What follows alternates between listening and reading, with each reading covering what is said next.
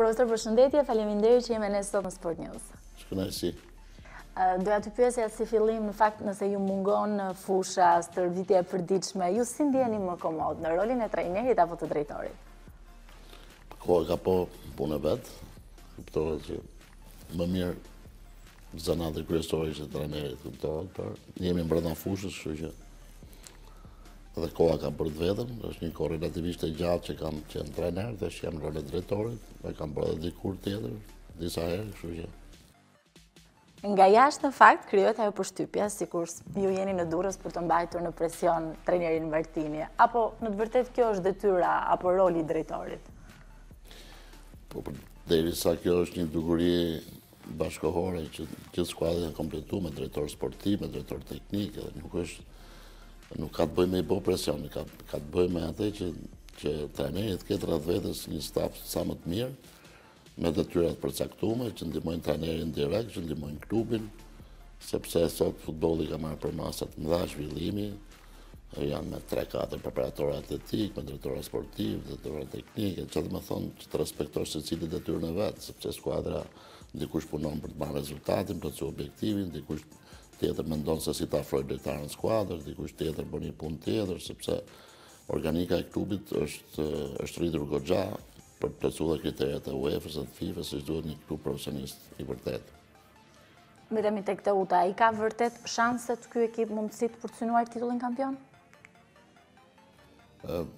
E filluan fillimisht gjashtë skuadra, apo 5 skuadra po me një objektiv të pesa që është diçka e rrallë, sepse kemi parasysh flasim edhe paralelisht edhe për financat, edhe në fund ai që fiton gëzon por kur ka shumë konkurrentë të tjerët hidhërohen, apo jo, se në kushtet konkrete, papritmas këtë kampionat u shfaq bukur Vllaznia, që u shtu dhe si konkurrent, që po, po udhëheq bindshëm, dhe në këto kushte shtohet dhe vështirësia, sepse ka një kohë kur kërkon që të shkurtosh distancën edhe të arrish Vllazninë, me gjithmonë objektivin edhe ne për titull, Ke dhe konkurrentë tjerë si një garë çiklistike që shkëputet dikush, pastaj është grupi që bëhet i rrezikshëm që vjen nga mbrapa. Është e vështirë, por jo e paarritshme me shembullin kryesor brenda vendit Vllazninë, që nuk e ka mendu, që është bërë shembull sigurisht, sepse Nuk janë shfaqë për të thënë do dalim kampion, ndeshja radhës ka rëndësi, edhe me këtë lloj motivi, ky është një motiv që duhet të udhëheqë çdo skuadër praktikisht për të mos mendu gjatë, mendu për ndeshjen e radhës. Ndërkohë mbetemi tani tek derbi, ju mungon kryeqyteti, veçanërisht derbi, që ju në fakt e keni përjetuar le të themi në çdo qeliz. Po derbi na mungon të gjithëve.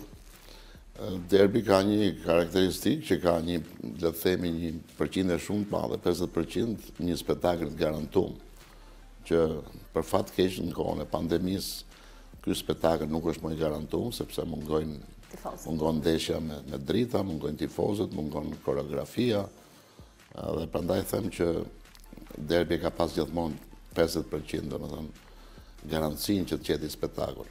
Po, për shkak të pranisë të tifozëve. Ndërkohë, le të themi, ju keni fituar si me Partizanin, ashtu edhe me Tiranën. Në këtë derbi, për kë bëni tifo, edhe cila është ajo skuadër që i ka mundësitë për të fituar, apo është favorita, sipas jush?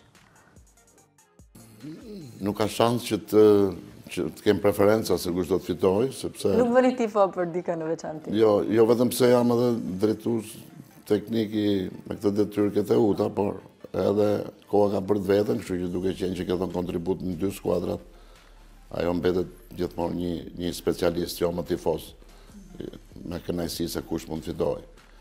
Përsa i përket pyetjes së dytë, unë do thoja që Ky derbi i radhës ndryshon nga derbi i parë.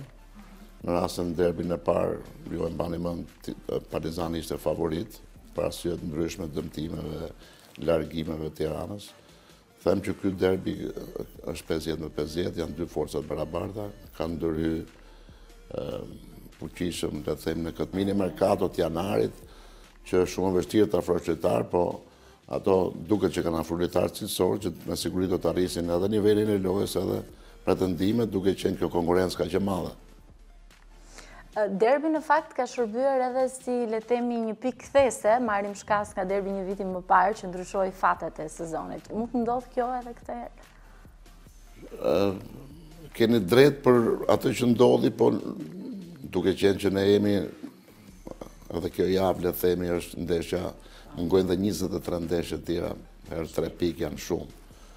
Sigurisht që fitorja në derbi nuk është vetëm 3 pikë, se 3 pikë janë njësoj me gjitha skuadrat, po fitorja në derbi ka bonus, ka bonus të madh psikologjik.